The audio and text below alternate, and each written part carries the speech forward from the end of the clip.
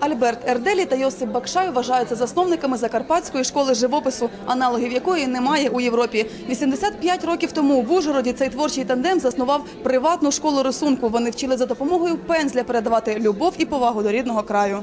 Ми дотворюємося сьогодні до геніїв через їхній живопис. Любов до Бога, любов до людей і любов до мистецтва. Оце те, що їх об'єднує. Вони одночас е, єдині і одночас, одночасно вони різні. Але любов об'єднує. У рівному Ерделі та Бакшая виставляють вперше. Усі ці роботи об'єднує синьо-фіолетова гама. Власне, тому виставку і назвали мистецька яфина. Саме так у Закарпатті називають чорницю. Попри те, що художників немає вже більше 30 років, їх досі пам'ятають і цінують не лише знані майстри пензля, а й починаючі художники.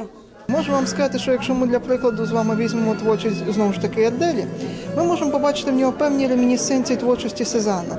Сезан, як відомо, він є дуже близьким для художників і сучасних, тому що він був в першу чергу аналітиком. Аналітиком дуже цікавим. Його трактування форми запропоноване, чи трактування кольору і форми у синтезі, вони залишаться актуальними назавжди.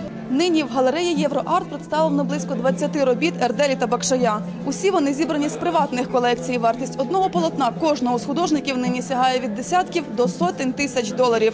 Небайдужі до мистецтва рівняни зможуть побачити ці картини до 22 квітня. Оксана Жужельська, Назар Мідріган. Інформаційна програма День.